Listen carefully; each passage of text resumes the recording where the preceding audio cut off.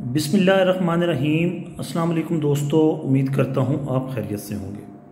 मैं मोहम्मद नासिर जोया आपके सामने एक नई वीडियो, एक नए टॉपिक के साथ हाजिर खिदमत हूँ।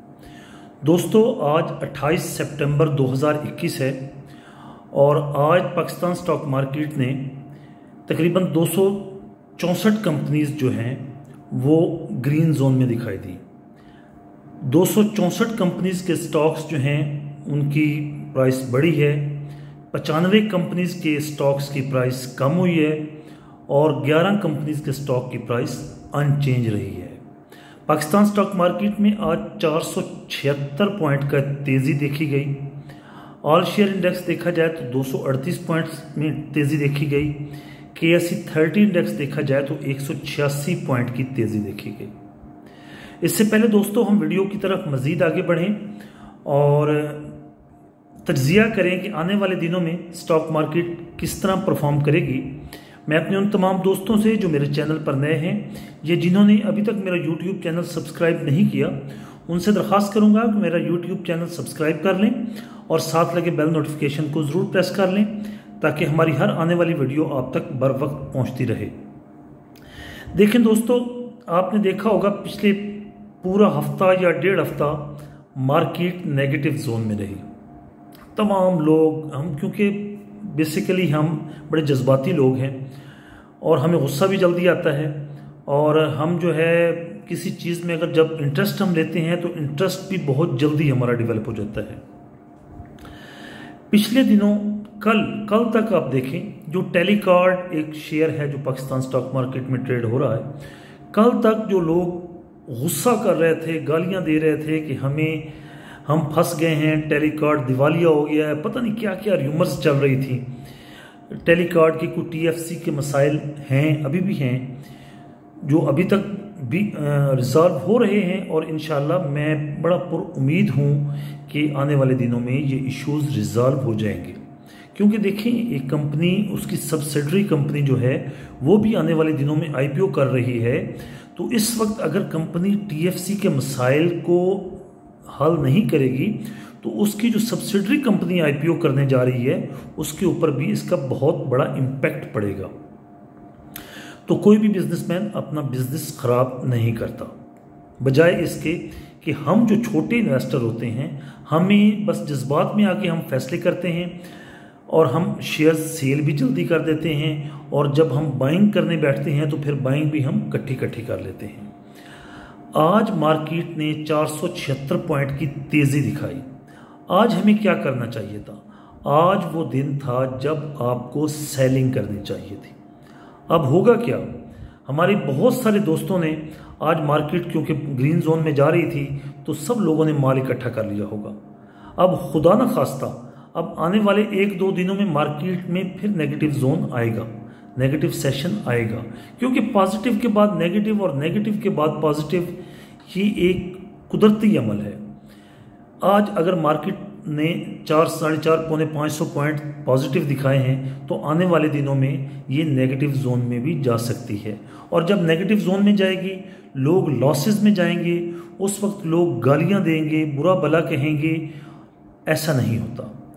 स्टॉक बिजनेसमैन जो होता है ना बिजनेसमैन बिजनेसमैन जज्बात से फैसला नहीं करता। बिजनेसमैन हमेशा फैसला करता है मार्केट की सिचुएशन को देखकर। मार्केट आगे जा रही है तो आगे चलते जाएँ, मार्केट नेगेटिव जा रही है तो पीछे चलते जाएँ। मतलब क्या है? मतलब ये है कि जब मार्केट नेगेटिव जोन में हो तो थोड़ी थोड़ी थोड़ी थोड़ी बाइंग करने शुरू कर दें। आज जैसे मार्केट पॉजिटिव जोन में आई थी तो आप थोड़ी थोड़ी करके उसकी सेलिंग करें। जब आप रेड जोन की बाइंग करके ग्रीन जोन में सेल करेंगे तो आपको हमेशा प्रॉफिट होगा।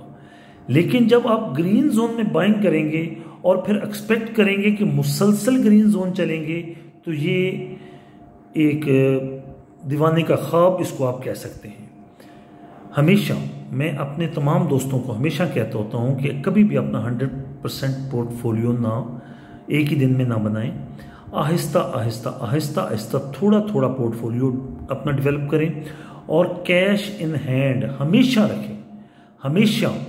कोई ऐसा दिन नहीं होना चाहिए जब आपके पास कैश इन हैंड ना हो। ट्वेंटी परसेंट थर्टी परसेंट जब आप लास्ट ट्वेंटी परसेंट या थर्टी परसेंट पर जाते हैं ना, फिर कसम खा लें कि आपने बाइंग नहीं करनी। फिर आपने एक्सट्रीम जाके बाइंग करनी है, जब आप देखें कि मार्केट में क्रैशिंग आ रही है। मार्केट 2000, अढ़ाई हज़ार तीन हज़ार चार हज़ार पॉइंट अगर गिर रही है गिर चुकी है अगर चार पाँच दिनों में तो उस टाइम फिर बाइंग करें। अब कल का जो दिन था कल आपने देखा होगा पिछले तीन से चार दिनों में पाँच दिनों में मार्केट तकरीबन कोई हज़ार से दो हज़ार पॉइंट की क्रैशिंग ले चुकी थी। कल का दिन बाइंग का डे था। कल जिन लोगों ने बाइंग की होगी आज आप क्या एक्सपेक्ट करते हैं कि उन्होंने लॉस किया होगा? कभी नहीं। मैंने आज आपको सबसे पहले एडवांस्ड कंपनीज़ क्यों बताई? दो सौ चौंसठ कंपनीज़ के शेयर्स में आज तेज़ी रही। अगर कल देखें, गुजरा हुआ कल जो है तो टोटल चौंसठ कंपनीज़ भी नहीं होंगी जिनके शेयर्स में तेज़ी होगी। कल जिन लोगों ने बाइंग की है और आज जिन लोगों ने सेलिंग की है, वो अच्छे इन्वेस्टर्स हैं। वो अच्छे ट्रेडर्स हैं। ऐसी ही नेचर आप सबकी होनी चाहिए। जब आप ग्रीन जोन में बाइंग करेंगे और वेट करेंगे कि नेक्स्ट ग्रीन जोन आएगा तो हो सकता है दो से तीन सेशन रेड आ जाए बीच में। तो आप तो लॉस में चले जाएँगे। फिर आप प्रेशर भी आपके ऊपर बिल्ट होगा। फिर आप देखेंगे कि आपका जो कैपिटल है वो डे बाय डे नीचे जा रहा है। फिर जब उसमें ग्रीन जोन आएगा तो आप को इतना मज़ा नहीं आएगा। लेकिन अगर आपकी जो है बाइंग जब मार्केट नेगेटिव होती है, उस टाइम बाइंग की हुई होगी तो उस वक्त आपको जो है ग्रीन जोन में जब मार्केट होगी तो उस सेलिंग का मज़ा आएगा। इसके बाद मैं आप ज़िक्र करूँगा यहाँ पे टेलीकार्ड का। कल जो लोग टेलीकार्ड को बुरा भला कह रहे थे, आप सोशल मीडिया पे जाएँ फेसबुक ग्रुप्स में जाएँ इवन मेरे चैनल के इसी जो मैं वीडियोस पोस्ट की थी, इन वीडियोस के नीचे कमेंट्स को जाके देखें। तो लोग पता नहीं क्या क्या कह रहे थे। कोई कह रहा था कि आए बाएँ शाएँ मार रहे हैं। कोई लॉजिकल आप नहीं दे रहे।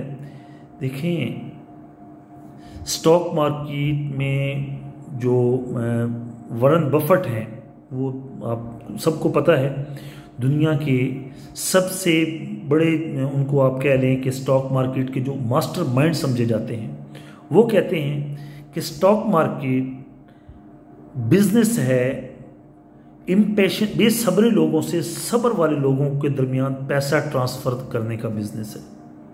जो बेसब्रे होते हैं, वो जैसे ही मार्केट थोड़ी सी नेगेटिव होती है, परेशान हो जाते हैं और अपनी चीज़ें सेल करते हैं। जो सब्र करने वाले लोग होते हैं, वो जब ग्रीन मार्केट होती है तो सेल करते हैं। जब नेगेटिव मार्केट होती है तो उसको इंजॉय करते हैं। हम उसके मुख्तलिफ़ अपोजिट साइड पे चलते हैं। हमें ऐसा नहीं करना चाहिए। अपनी मनी मैनेजमेंट बेहतर करें। अपने पैसों का हिसाब किताब बेहतर रखें कि आपने किस वक्त कितनी इन्वेस्टमेंट करनी है। अपना पोर्टफोलियो कभी भी 100 परसेंट स्टॉक मार्केट में इन्वेस्ट ना करें।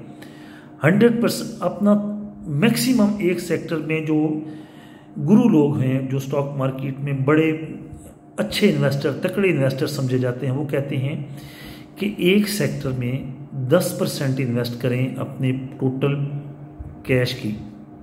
उसके बाद छोड़ दें। क्यों छोड़ दें?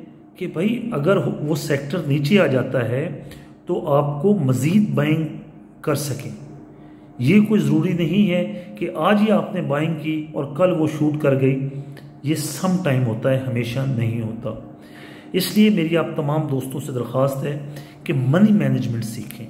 मैंने इस, इसी चैनल के ऊपर काफ़ी वीडियोस ऐसी बनाई हुई हैं अपलोड की हुई हैं, जिनमें अपने दोस्तों को बताया हुआ है कि कब आपने शेयर्स बाय करने हैं, कब आपने सेल करने हैं आईपीओ क्या है, कौन से आईपीओ में हमें जाना चाहिए, कौन से में नहीं जाना चाहिए। जज्बात से बिज़नेस में फैसले नहीं होते। जज्बात से फैसले करेंगे तो हमेशा आपका नुकसान होगा। यही थी आज की छोटी सी काविश। मैंने ज़रूरी समझा कि अपने दोस्तों से आज बातचीत की जाए और उनको कहा जाए कि भाई, अगर आज आपने बाइंग की है तो अगेन आपने एक गलत फ़ैसला किया है। आपको नहीं पता कि आने वाले कल में क्या होगा। कल मार्केट नेगेटिव हो जाएगी, अगर खुदा न खास्ता तो फिर आप क्या करेंगे? और आज भी आपने देखा, आज भी मार्केट ने सौ, डेढ़ सौ पॉइंट एक दफ़ा नेगेटिव जोन में गई है, लेकिन फिर पॉजिटिव हो गई। मार्केट में सपोर्ट आ गई। आज सुबह जब आपने टेली कार्ड देखा तो लोअर लॉक पर था। टेली कार्ड आज सुबह लोअर लॉक पर था। उसके बाद उसका पैंतीस से चालीस हज़ार शेयर्स की सेलिंग प्रेशर आ रहा था। लेकिन जब आप उस, वो बेहतर हुआ तो मार्केट ओपन होते ही दो तीन मिनट के अंदर उसका लोअर लॉक ब्रेक हुआ है और वो उसके बाद जाके अपर लॉक पर मार्केट में बंद हुआ है। तो इस वजह से कोई शेयर जो है ना बुरा नहीं होता।